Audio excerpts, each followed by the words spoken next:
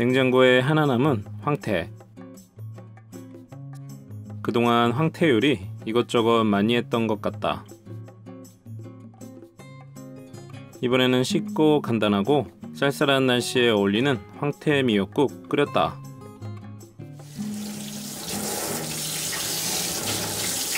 물을 금방 빨아들여서 부드러워지고 살은 뽀송해졌다.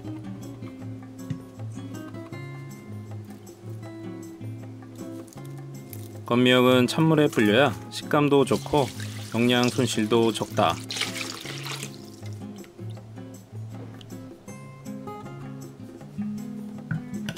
미역국은 마늘만으로 충분하다.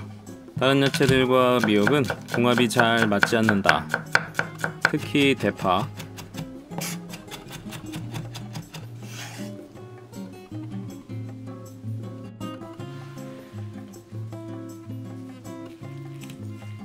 황태 머리와 짜투리 부위는 모아서 다음 육수 낼 때 사용하면 좋다.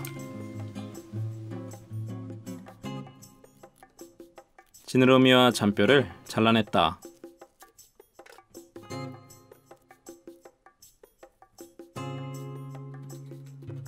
반을 갈라서 한 입 크기로 잘라줬다.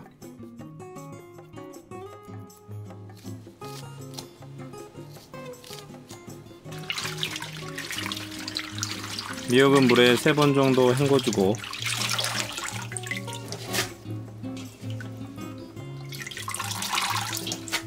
볶기 좋게 물기를 꽉 짜줬다.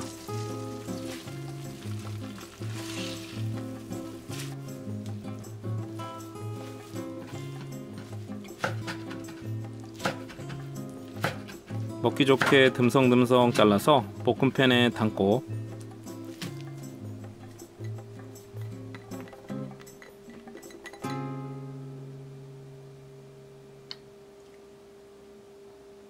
장도 한 가지보다는 두 가지를 섞었으면 맛은 더 깊어진다. 들기름은 미역과 궁합이 좋다. 없다면 참기름을 사용해도 좋다. 볶아주면 그냥 끓이는 것보다 간도 잘 배이고 훨씬 맛있다.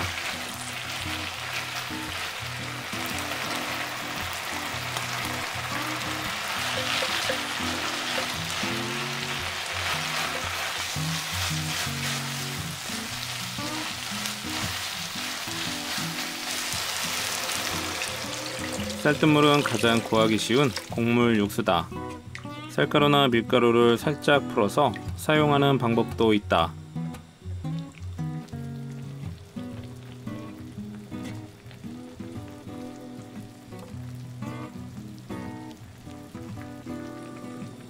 일반 소금보다 굵은 천일염을 사용하면 국물이 더 시원해진다.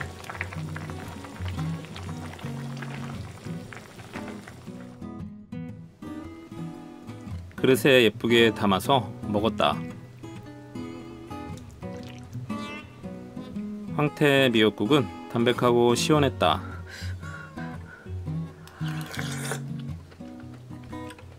밥 말아서 오이김치와 먹었다. 꿀맛이다.